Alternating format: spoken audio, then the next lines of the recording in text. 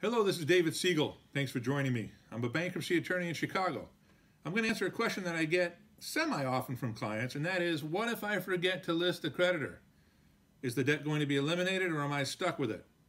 In Illinois, the answer is the debt will be eliminated.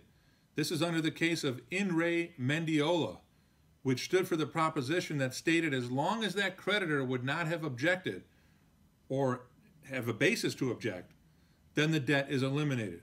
For example, if somebody leaves off a medical bill or a personal item that they didn't know they had a debt on, then the creditor really isn't harmed when they find out later that the person filed for bankruptcy.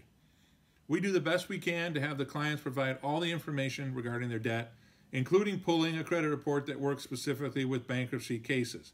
However, oftentimes, not everybody's on the credit, and a creditor will get left off from time to time inadvertently. The Mendiola case stands for that proposition that it's an innocent action and that the debt should be eliminated. That exception, of course, is if a creditor would have objected or could have objected based on some kind of fraud or other basis, then by not listing them, the person really got away with something. So in those cases, Mendiola doesn't apply, and the creditor can pursue the debtor in limited circumstances.